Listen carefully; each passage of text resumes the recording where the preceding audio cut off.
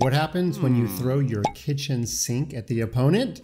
Well, today we're going to find out. Now, before we do, make sure you hit that subscribe button. What is the kitchen sink middle game? Well, it might depend on what's in your kitchen sink. Uh, this reminds me, I probably should do the dishes. Yeah, they're kind of piling up. But the kitchen sink is when you throw everything at your opponent, and I do mean everything. We're going to see it today. It doesn't always work, of course, but when it does, oh boy, is it fun.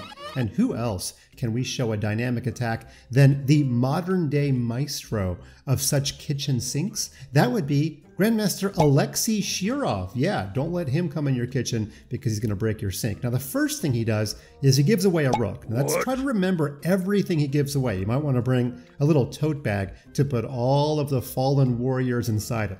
First oh. thing, he gives away the rook for the bishop. So he sacrifices a rook. We'll just say that, okay? After bishop takes, knight takes. Now he does get a center pawn for the rook, okay? It actually was a sound sacrifice. Actually, everything he does today is going to be sound. It's just going to be amazing.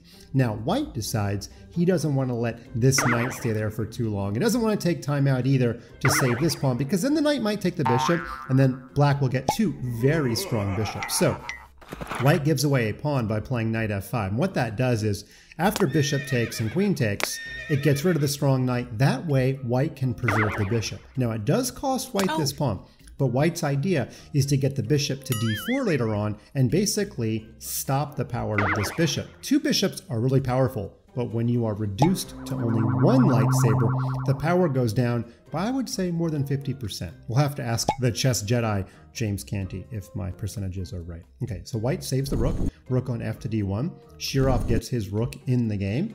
And now if you move the bishop, of course, you hang the e2 pawn. So there's no time to play bishop d4, at least not just yet. So white gets the other rook in the game. Totally logical. And black opens up the bishop and also hits this pawn and white plays the very calm rook to d2, guarding this pawn, also guarding this pawn, and white would love one more move, because if the bishop goes to the square d4, that totally puts the fire out. That's the baking soda on the grease fire. Wait a minute, do I have my science right?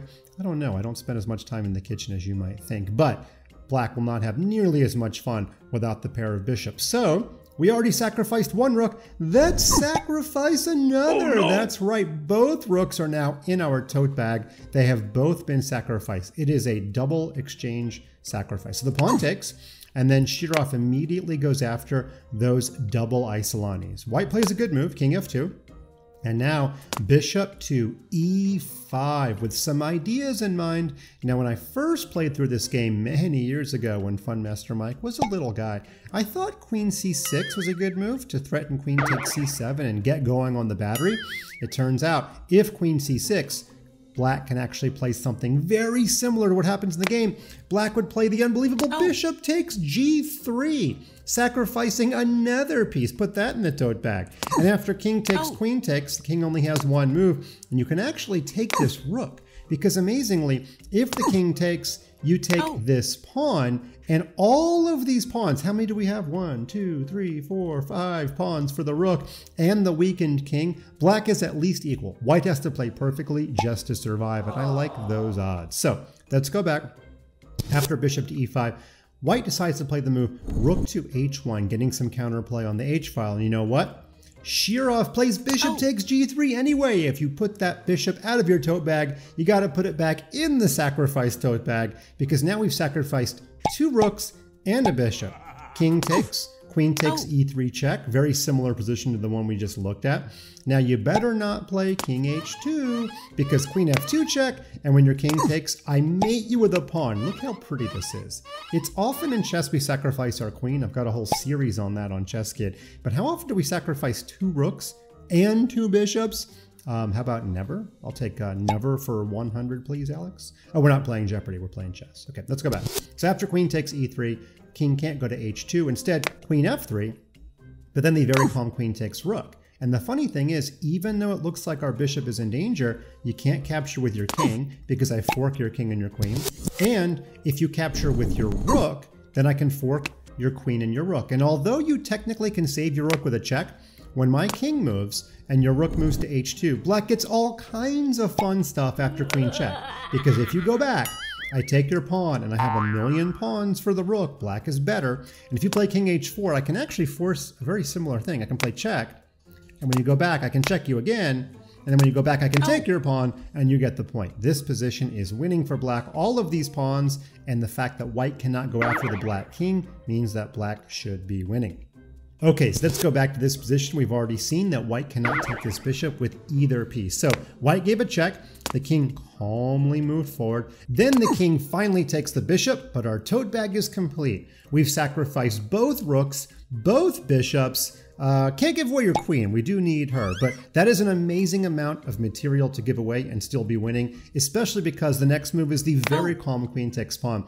And we've looked at various versions of this so far today. A queen and a million pawns defeating a rook, but the black king is totally safe and the pawns are going to march their way down the board. If you play a move like queen g2 to try to trade pieces like an old man, then I'm going to play g4 check and when your king moves backward to guard your queen, I'm going to play this check. You can't block with your queen because then I'll truly win a million pawns, but I'll keep taking more stuff. But if you play king g1, there's many different things that black could play. One is the very calm king g6, and look at this. White's pieces are so passive that black will just slowly march his own pieces up the chessboard. So let's go back. The queen did not come to g2. Instead, she stopped on d5. And there's a couple different winning moves. One is the quiet move, queen f2. And good luck stopping pawn g4 because uh, I don't think you can do it. You have to give away a lot of material.